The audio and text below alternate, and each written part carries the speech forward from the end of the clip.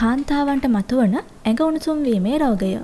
මැදවියට පත් කාන්තාවන්ගේ සිරුරේ උඩුකය කොටස එකවර උණුසුම් තත්ත්වයක් ඇතිවීම හෝ අධික ලෙස දහදිය දැමීමේ තත්ත්වයට පත්වනොත් එය වඩාත් අවධානය යොමු කළ යුතුයි. මන්දයක් මෙය සිරුර උණුසුම් වීමේ රෝගය වෙන්න පුළුවන්. ඇඟ උණුසුම් වීම.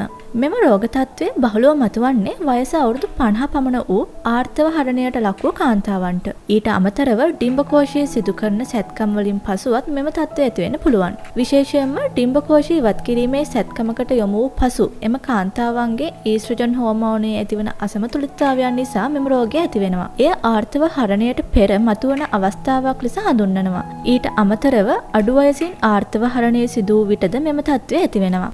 රෝග ලක්ෂණ සිරුරු උණුසුම්වීමේ රෝගය මතු වූ විට එකවර පපුව ප්‍රදේශයේ හටගන්නා දැඩි උණුසුම් බවක් ඇතිවෙනවා. ඊට අමතරව අධික ලෙස දහදිය දැමීමද හටගන්නවා. ඇතැම් විට මෙම රෝග ලක්ෂණ දරා ගැනීමට නොහැකි අයුරින් හටගත් විට ක්ලාන්තයට පවා පත්වීමට ඉඩ තියෙනවා. මෙම අපහසුතා නිසා කාන්තාවන් නොසන්සුන් තත්ත්වයට පත්වෙනවා. එක ඉරියව්වකින් සංසුන්ව සිටීමට පවා අපහසුයි.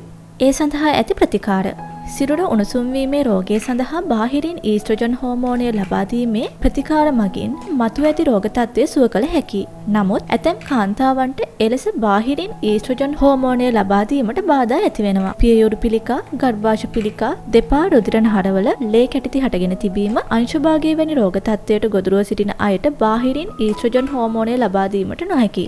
එවැනි කාන්තාවන්ට කලාතුරකින් මෙම රෝගයට සමාන ආකාරයට තයිරොයිඩ් හෝමෝන අධිකතාවය නිසා හටගන්නා රෝගයක්ද මතුවෙනවා. එවැනි අවස්ථාවලදී තයිරොක්සින් හෝමෝනයේ පාලනය සඳහා බාහිරින් ඖෂධ ලබා දීමක් සිදු කරනු ලබනවා. එබැවින් මෙවැනි රෝග හමුවේ විඳවෙමින් නොසිට නිසි ප්‍රතිකාර ලබා ගැනීමෙන් මතු ඇති රෝගයන් සුවපත් කරගන්න පුළුවන්.